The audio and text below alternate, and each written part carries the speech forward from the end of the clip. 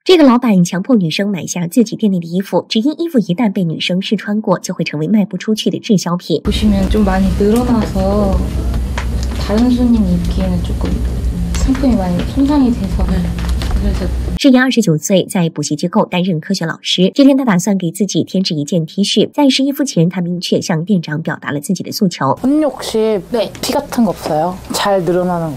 店主环顾四周给他找了一件尺码最大且富有弹性的衣服。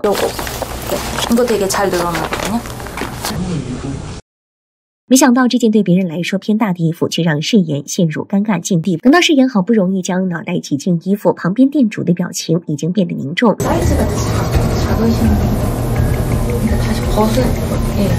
爱脱衣服又是一个非常艰难的过程。看着已经被试变形的衣服，老板委婉表达了自己的诉求。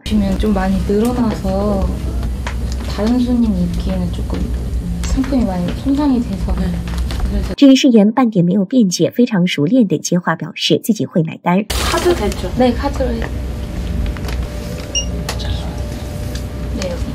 而这样的场面，誓言已经经历过无数次。正常人看电影就只是看电影，誓言看电影提心吊胆，生怕影响其他人。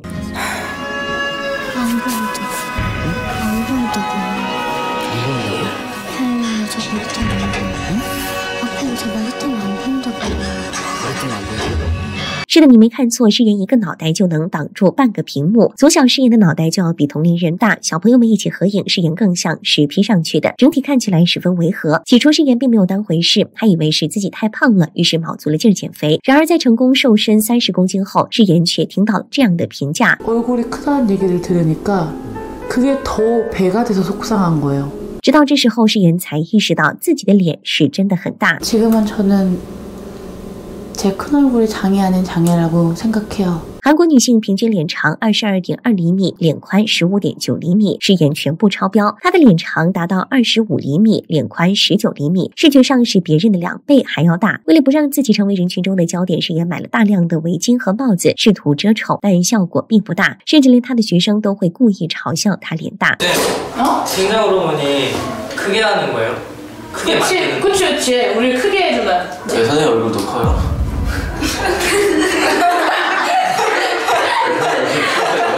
誓言不是没想过通过科技的力量改善自己的处境，但医生却告诉他，头围的大小是没办法改变的。哎，希望誓言能好好调整自己的心态吧，毕竟心态好比什么都重要。就因为遗传了亲妈的长相，这个韩国女孩日常忍受着爸爸的拳头。 가만히 있었단 말이야. 가만히 있었어? 그래 아빠가 어? 너같이 생긴 여자 결혼해서 너 나서 그런 거야 이놈아 女孩名叫智贤，二十一岁，是一名大学生，和爸爸后妈生活在一起。这天在外工作回家的爸爸看到坐在客厅的智贤，瞬间就来火了。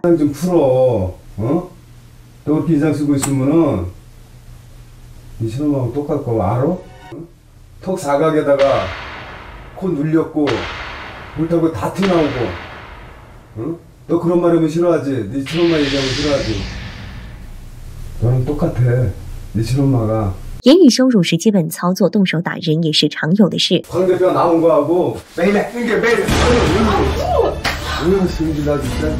为了让智贤少挨电打，继母将他拉至房间，不依不饶的父亲却紧随其后。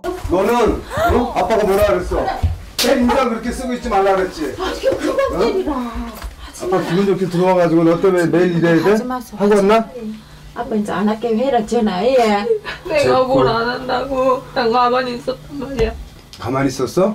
그래 아빠가 어? 너같이 생긴 여자 결혼해서 너 나서 아, 아, 아! 그런 거야 이놈아 是的，你没看错，父亲对智贤的长相极度厌恶。智贤九岁那年，父母离婚，母亲是过错方，又因为智贤完全遗传了母亲的长相，父亲便将这份厌恶转移到了他身上。殊不知，比起父亲，智贤自己更加讨厌这副长相。智贤遗传了母亲的方形脸、龅牙齿，导致他性格愈发自卑，不敢跟人对视。关键是，这样的相貌不仅影响美观，还严重影响到了他的生活。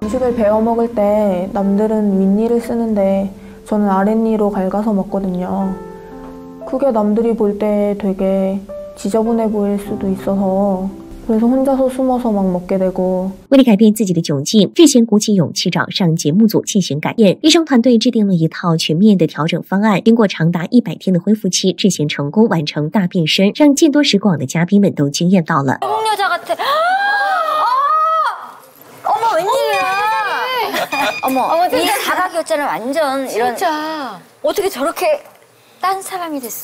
虽然不知道志贤父亲会不会因此改变态度，但至少志贤在学校的处境会好很多吧。这个因生育两娃导致胸部消失的宝妈，向自己丈夫提出了一个离谱建议。 어, 남편도 남자인데 아, 제가 막 그랬어요. 그럼 알아서 밖에서 해결하고 와 그랬어요. 视频中大胆开麦的女人是一个生育了俩娃的宝妈。生完孩子后，宝妈的胸部憋平了不少，从外形上来看和后背几乎没有什么区别。为了让自己在外人面前看起来自信一点，宝妈通常都会垫三到五个海绵。只不过装备再齐全，也总有露馅的时候。某次，宝妈带着孩子蒸桑拿，后者看着和自己妈妈外观不一样的阿姨们，问出了这样一个问题： 엄마 저 사람도 여자 사, 사람이야? 근데 왜 이렇게 쭈쭈가 커? 순간 시선들이 저한테 다 왔어요. 也是从那以后，宝妈变得越发自卑，哪怕大热天冲凉，也一定会将自己裹得严严实实的再出现。 샤워를 해도 다 그냥 거기서 욕실에서 다 입고 나오거든요. 만약에 안 입고 제가 나오면 그냥 발개 뽑고 벌거 갖고 다니 그런 느낌이 들어요. 되게 제가 스스로 수치스러워요. 因为胸部消失带来的缺陷，宝妈和丈夫的感情也受到极大影响。不过，倒不是宝妈被丈夫嫌弃，而是她选择了主动远离丈夫，打算维持一段有名无实的婚姻。对此，丈夫非常不理解，因为他从不觉得胸部消失是妻子的问题。 가슴이 작은 건 어때? 남한테 안 보여줄 수 있는 거잖아. 아이를 낳다 보니까 그런 건데 그 누구의 탓도 아니잖아요. 奈何宝妈早已陷入怪圈，不管丈夫怎么劝说，都无济于事， 괜찮다고는 말하지만 전 괜찮지 않을 거라고 또 의심을 해요. 甚至拒绝和丈夫有任何亲近行为。 어, 남편도 남자인데 아, 제가 막 그랬어요. 그럼 알아서 밖에서 해결하고 와 그랬어요. 看到这儿，我算是知道韩国男人地位为什么这么高了，都是被惯的。好在这个丈夫是个三观正确的好男人，否则指不定怎么利用宝妈的羞耻心理在外乱来。哎，宝妈们遇到这种事，千万不要陷入焦虑情绪，更不要将责任归咎于自己，这不是你们的错啊。